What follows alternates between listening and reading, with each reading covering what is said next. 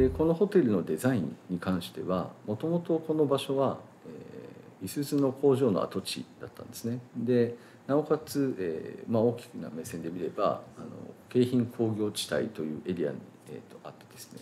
もう本当にこの、えーと、敷地のちょっと先に行けばですね大きな工場がたくさんあるような場所でした。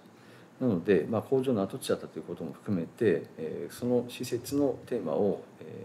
倉庫みたいなもしくは工場みたいなということを、えーと、イメージしてウェアハウスというテーマにしてその名前をそのまま、えーと、この施設のネーミングにしました。なので、えーと、倉庫っぽいとか工場っぽいみたいなものを、えー、とデザインに取り込んでいくという、えー、とデザイン手法でデザインに取り組みました。で、えー、ホテルそのものはえー、きちんとビジネスができるホテル作りっていうのをしようと。まあ単純なビジネスホテルっていうと泊まるだけであとは、えー、何もできないみたいなパターンが結構多いんですけどこの場所は、えーと、仕事に来た人たちがもう本当にそこで仕事ができるということを一つのテーマにしようということにして、えーと、ホテルの部屋はそんなに広くないんですけれども1階のロビーに降りてくれば1階にものすごい大きな共有スペースがあると。でその中にはバーがあったりカフェがあったり、えーと、ちょっとしたラウンジがあったり、えー、コピー機があったり、えー、それ以外にも卓球台があったりちょっとギャラリーのようなスペースがあったりします。その中で、えーと、自由にですね、まあ、このホテルに泊まった人たちはそこで自由に、えーと、時間を過ごしてもらったり仕事をしてもらったりするようなことができるような場所づくりにしようというふうに、えー、と考えました。でそれ以外にもホテルの中には、え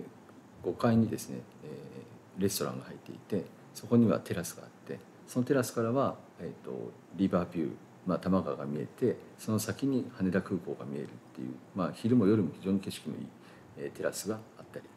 あとは、えー、2階にですね大浴場があったりもしますのでこの場所で泊まったら、まあ、例えばその外のですね多摩川の河川敷をですねジョギングするなり自転車に乗るなりして戻ってきてお風呂に入ってさっぱりして、えー、仕事に行くみたいなことができるような作り方にしてます。まず外観はですね非常にこう盤面上のシンプルなあの外観になってましてででもただそれだとあのあまりホテルとしての色気がないので開口部に色をですね使ったカーテンいろんな色のカーテンをつけました。でそれをすることであのちょっと華やかな印象になるようなあのデザインにしてます。でカーテンの色はいろんなブルーとか白とかですね赤とかオレンジとかあるんですけれどもそれはあのエリアで見れるその、まあ、自然の色とか太陽の色とか水の色とか空の色みたいなものを一応ピックアップをしてでそれで色を入れました